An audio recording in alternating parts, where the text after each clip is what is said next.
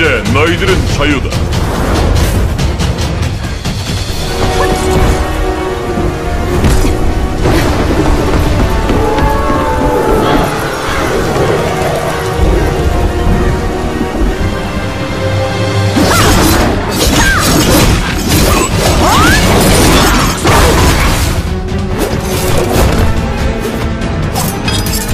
흔적을 많이 남겼네요.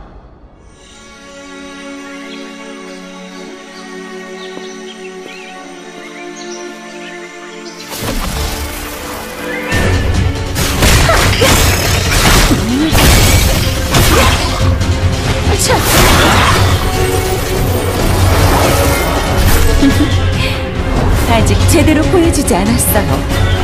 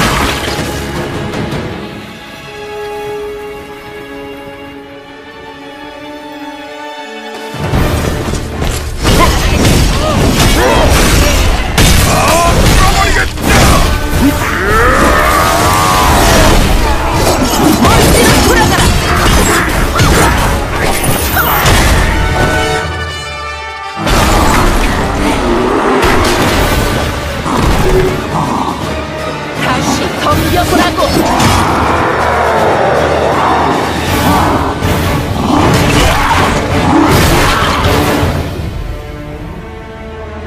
들리시나요?